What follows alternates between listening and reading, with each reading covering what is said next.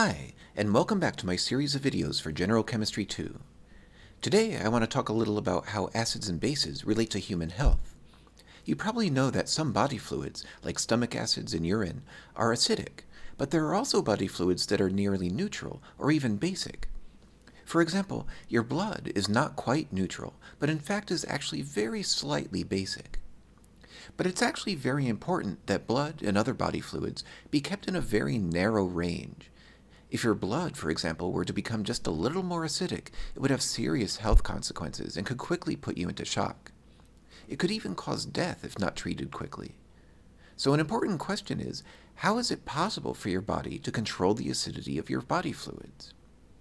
We'll need to learn several new things before we'll be able to answer that question, and we'll start with today's video, which is all about the most common way we have of describing how acidic or basic something is. To begin, let's remember that in the last video, we saw that strong acids and bases completely dissociate to give us hydrogen or hydroxide ions in an irreversible reaction. On the other hand, weak acids and bases dissociate in a reversible reaction, which means that not all of the reactant molecules are dissociated at any one time. One question that comes up is, how can we tell exactly how strong or weak an acid or base is? We do that by giving what's called the pH of the solution, which is simply a way of describing the concentration of H plus ions in a solution, and was invented in 1909 by the Danish chemist Soren Sorensen. The pH is the negative of the logarithm of the hydrogen concentration. You might remember that we've seen logarithms before when we studied first order reactions. Back then, we used this equation. But notice that this is not the same kind of logarithm we used in that earlier video. In the first order equation, we had ln, which is called the natural logarithm. You might remember that the natural log of a number is the exponent we must raise e to in order to get the number we're taking the log of. That's different from the logarithm we're using in the pH equation. This time, we're using what's called the base 10 logarithm, which has log as the symbol instead of ln. The base 10 logarithm has a definition that's similar to the one that we learned for natural logs. It's the exponent we must raise 10 to in order to get the number we're taking the logarithm of. So, for example, the logarithm of 1000 is 3, because we must raise 10 to the exponent 3 in order to get 1000. Most of the time, though, it's not possible to calculate a logarithm in your head. Luckily, your calculator has a button for it, just like the natural log button. So, for example, the logarithm of 0.650 is negative 0.187. Remember, that means that 0.650 is equal to 10 raised to the power negative 0.187. Anyway, back to the pH. Suppose we have a solution with an H plus molarity of 2.45 times 10 to the minus 3 molar. What's the pH of this solution? In this case, we just plug the molarity into our equation, and we find out that the pH is 2.61.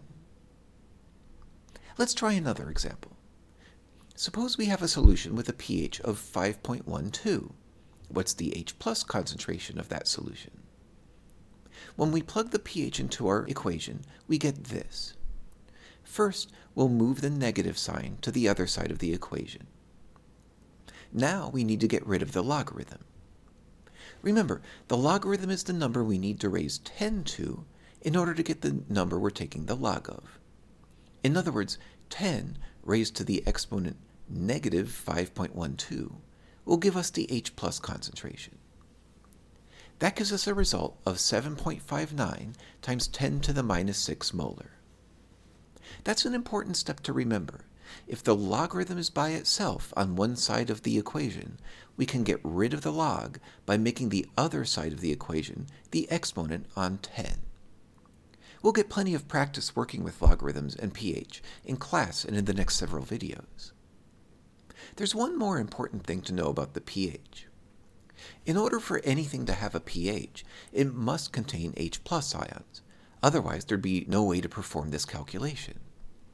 That includes water. Plain, pure water isn't just H2O molecules. It turns out that in any sample of water, a tiny, tiny fraction of water molecules dissociates to form hydrogen and hydroxide ions, according to this reversible reaction. Notice that the hydrogen and hydroxide are in a one-to-one ratio. That means that for every hydrogen that gets formed, a hydroxide is also formed. So, when water dissociates this way, the resulting solution is neither acidic nor basic, as long as there's nothing else in the water. That means pure water is completely neutral. It turns out that the pH of neutral water is exactly 7. Another way we can measure how acidic or basic a solution is, is by looking at the hydroxide concentration instead of the hydrogen ions. If we do that, we can use the pOH instead of the pH. Just like the pH, the pOH is the negative logarithm of the hydroxide concentration. Notice that because pure water dissociates to give equal numbers of hydrogen and hydroxide ions, that means the pOH of water will be exactly the same as the pH. So the pOH is 7. We can figure out the concentrations of H plus and OH minus in water using the formulas we saw earlier. For example, let's find the concentration of H plus ions in water. We'll use the formula for pH. We know that the pH is exactly 7, so we'll plug that in, and we can then solve for the concentration of hydrogen ions. We find that the result is 1.00 times 10 to the minus 7 molar. That's a really small concentration. And since water dissociates into equal numbers of hydrogen and hydroxide ions, this is also the concentration of hydroxide ions. And that brings us to another important and very useful fact. Notice that the pH of pure water is 7, and the pOH is also 7, which gives us a total of 14. It turns out that all aqueous solutions, not just plain water, have a pH and pOH that add up to 14. So, for example, if we had an aqueous solution of acetic acid with a pH of 3.20, we could find out its pOH. Since the pH and pOH must add up to 14, we know that the pOH is 10.80. You may be wondering where the hydroxide came from that allowed us to measure the pOH in a solution of acid. The trick is to remember that this is an aqueous solution. That means that this reaction is always taking place, no matter what acid or base might also be in the solution. So, there's always some hydroxide ion present, even in an acidic solution. For the same reason, there will always be some hydronium ion present, even in a solution of base. So we'll still be able to figure out a pH.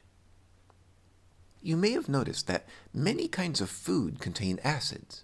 For example, milk contains lactic acid, vinegar contains acetic acid, and lots of fruits contain citric acid. On the other hand, there aren't very many foods that are basic.